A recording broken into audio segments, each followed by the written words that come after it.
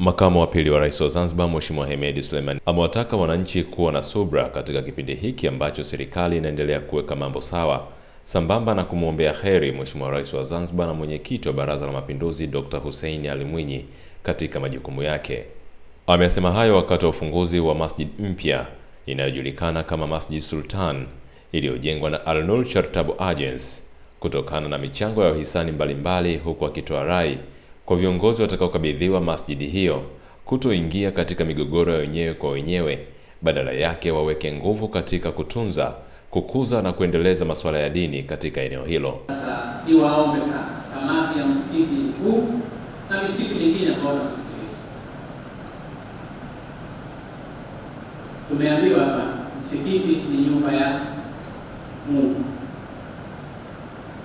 tutekeleze yale yote yanayostahili kwa ajili ya Mwenyezi Mungu, si kwa ajili ya maslahi yetu binafsi. Iko mizozo ambayo inasababishwa na kamati hizi.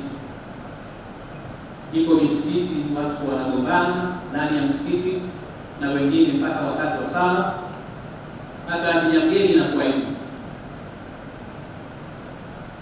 Wako watu wanapigana, wako watu wameshapitishana kwenye vyombo vya sheria kwa sababu ya misikiti kwa sababu tu inawezekana kuna matakwa ambayo anaona yeye angekuwa na nguvu zaidi kuliko wengine. Ni waombe sana Waislamu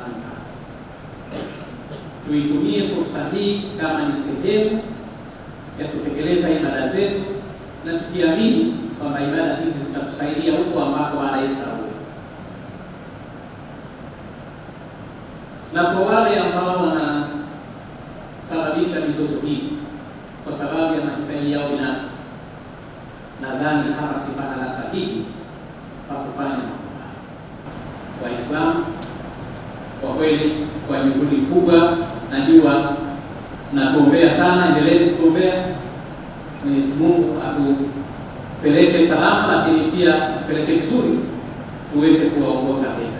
Ufunguzi wa msikiti huo ulienda sambamba na sala ya Ijumaa, huku waratibu wa ujenzi wa masjidi hiyo wakieleza namna ambavyo wamekuwa wakiratibu shughuli mbalimbali za ujenzi wa msikiti huo, ambapo baadhi ya waumini wa Kiislamu walioungana na Mheshimiwa Makamu wa Pili wa Rais nao walikuwa na machache ya kuzungumza. Jina la msikiti ni Masjid Sultani Islamic Center ambao leo hii ndio umefunguliwa rasmi baada ya mwaka mmoja uliopita, na leo tumewakabidhi e, watu wa mtaani yani kamati ya msikiti kwa ajili ya kuendesha shughuli hizi hapa pamoja na, ma, na maendeleo mengine ambayo yatakuja baadaye inshallah.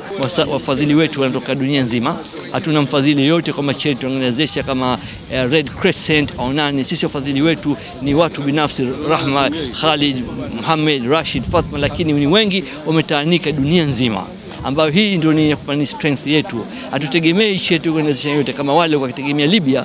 Libya ilivyoanguka wamefunga wale wakitegemea mfano Turki, uh, Turki kutoka mapinduzi ya kafeli wameanguka. Ama kwa hakika jambo lilofanyika hapa ni jambo tukufu.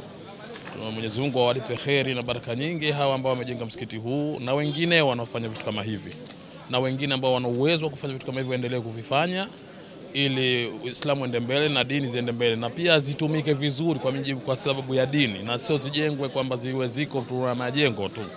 Kwa hili Mwenyezi Mungu inshallah tulipe kheri sote tuliohudhuria katika hili, lakini vile vile wametukirimu kwa sadaka nzuri, vile tuwape shukurani kwa pande mwingine kwa sadaka nzuri. Tuandikie maoni yako chini ya video hii, usisahau kusubscribe, kulike na kushare. KTV TZ Online, hakika hii ni fahari yetu.